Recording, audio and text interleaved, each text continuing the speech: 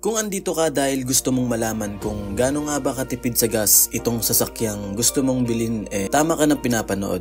Dahil sa video na ito ay ipapakita natin kung gaano nga ba ka fuel efficient itong Suzuki Espresso. Ipapakita ko din sa video na ito ang mga sumusunod. Kung ilang litro nga ba ang mailalagay sa isang full tank, kung gaano kalayo ang maitatakbo ng isang full tank, at ang actual fuel consumption. Dahil challenge ko ang aking sarili kung kaya nga ba ng isang full tank ng sasakyang ito makapunta sa Bicol galing Laguna at makabalik ng Laguna galing Bicol. Last December 31 ay umuwi tayo sa Bicol para salubungin ang bagong taon at babalik lang din tayo ng January 1 sa kadahilan ng may pasok na nga tayo ng January 2 sa trabaho. Kaya simulan nyo ng panoorin ang challenge na ito. Time check ngayon ay 2.54 at pagpapagas tayo sa pinakaunang gas station na makikita natin. Kasi dahil sobrang aga ngayon sarado pa lahat ng gas station dito sa Laguna. Pero for sure yan sa SLEX 24-7 yan. Yo, time check 2.57 nandito tayo sa Caltex. Ito sa may Santa Rosa, Laguna. Caltex Mount Plasan so dito tayo magpapa-full tank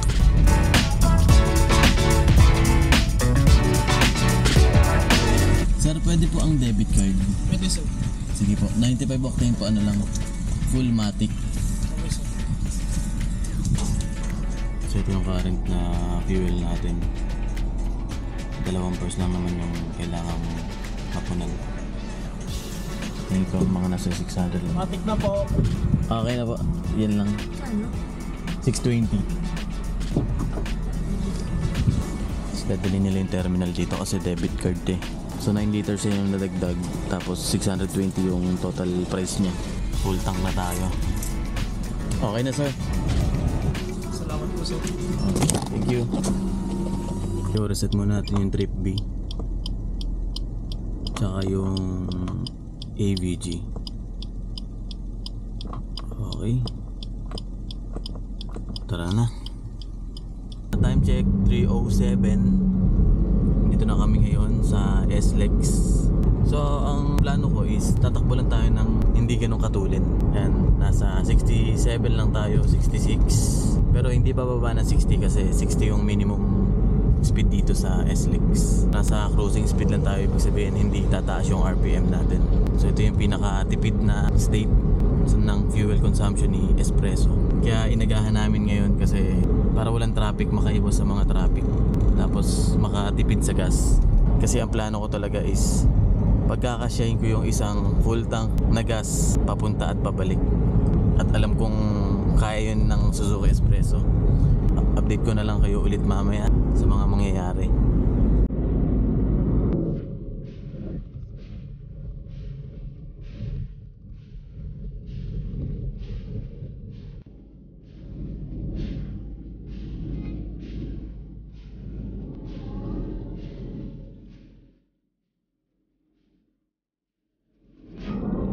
Update lang. Ngayon ay 4.56 na.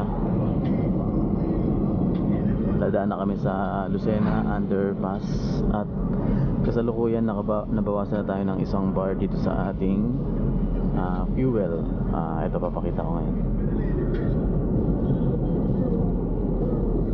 So meaning nakatakbo na tayo ng 90 kilometers at ayun nakatumbas ng isang bar.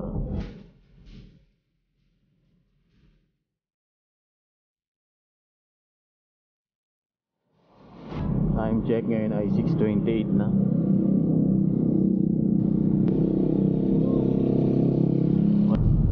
Parang okay dito ano. Dito na lang kaya tayo, Pepe. Parang masyadong ano. Hindi dito malalim oh. Okay.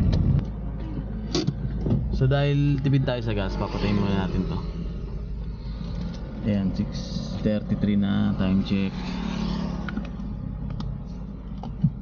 Mahigit 4 hours pa bago tayo makapunta ron. Tapos isang bar pa rin yung 147.9. Sige, silipin na natin. 26.9, grabe. Yung walang nagawa yan. So, patay muna natin yung makina.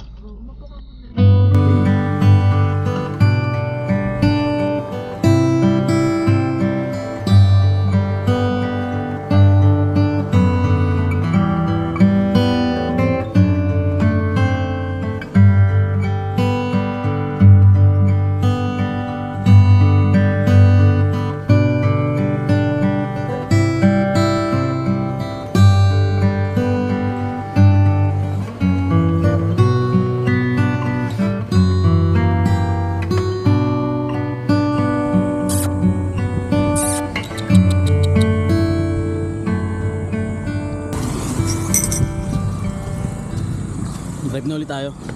Yo, time check ngayon ay 7.35. Sinabawasan na ng isang bar ulit, dalawang bars na. Pero naka 173 kilometer tayo. Yun lang. 8.34. Ito yung papunta sa Legazpi, Catanduanes, Tabaco, yan, sa kanan na yan. Yan, sa dait kami, dire- diretso kami dito. Dito na tayo sa Labo. Yan, mahaba-haba ang Labo. Sa kabaan tayo ng Labo, Maharlika Highway. Nabawasan na ulit tayo ng isang bar. So, tatlong bar, bar na yung nababawas. Ang total na natatakbo natin ay 240 kilometers. Not bad. Yun, ah, chill, chill na lang ang pagdadrive dito. Nakakwarta tayo. Laro-laro lang ng Trisera, kwarta at quinta. Ah, for example, ngayon, nasa kwarta tayo ngayon. Yan, pag may mga palusong na ganito, pwede tayong magkinta. Yan, 58. Yan, balik tayo sa kwarta. Yan, pero hindi galit yung makina. Sakto lang. Kwarta kwarta.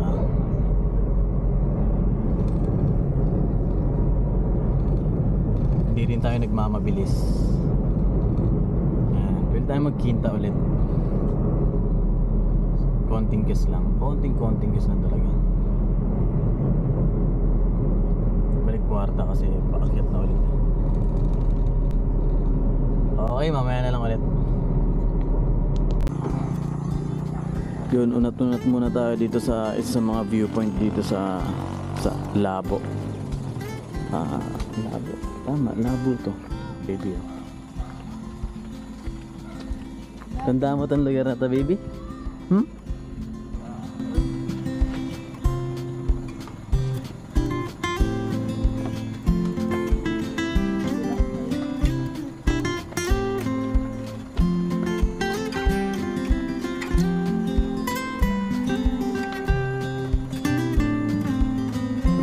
Nagpipicture din dun, no? Tara, bike na tayo.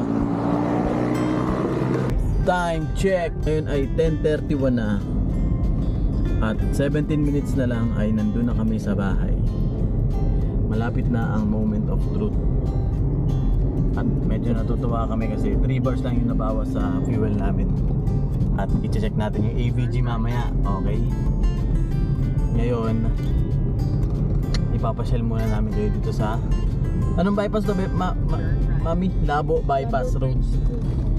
Napakaganda rito. Napakaganda, napakaaliwalas. Yan, ah, di pa siya tapos pero pwede nang daanan. Matagal na itong pwedeng daanan. Minsan gusto kong tumambay rito eh, tapos magmimerienda lang. ganun. Time check, 10.45. Nakarating na kami sa bahay. Ito na ang moment of truth. So, ang total na natakbo natin ay 296 kilometers. Yan. Hindi ko alam, hindi ko lang sure kung kita. Tapos ang ABG niya ay 25.7 para mawala-wala yung mga masamang elemento dyan syempre bumili tayo nito first time ko lang din magpapaputok nito. Yo good morning and happy new year. Ito na yung continuation ng ating fuel consumption. Marami rin kaming pinuntahan kagabi. Pabalik-balik kami.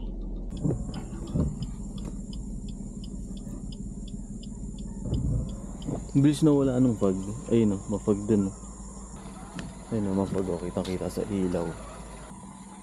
Ito ang ating magiting na coffee.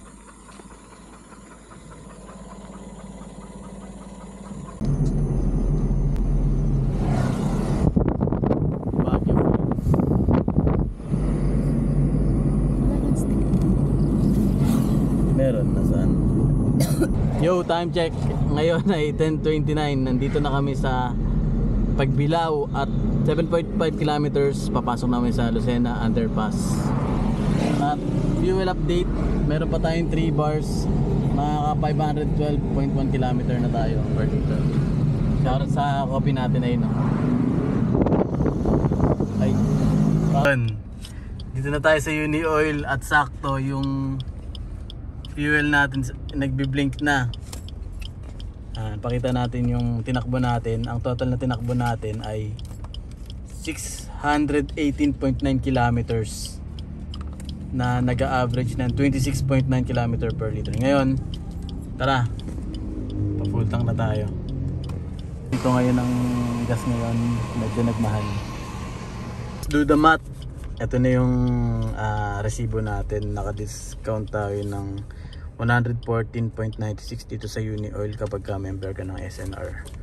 Yun, ang total liters na napagasolina natin is 25.75. Ah, galing yan sa ano ah, sa yung nagbi-blink na fuel indicator. Ibig sabihin eh mauubos na.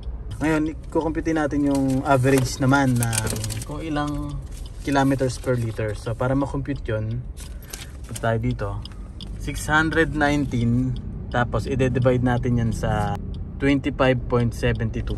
So 24 kilometers per liter at ito yung ABG naman na nasa dashboard natin. No? Medyo hindi sila tugma. Mas, mas mataas tong nasa dashboard natin, 26.8 kilometers per liter. Pero ang pinaka ang pinaka actual consumption talaga natin is 24 kilometers per liter. So yun, gano'n katipid si coffee. At ano pa ba? Yun lang for this vlog. Peace!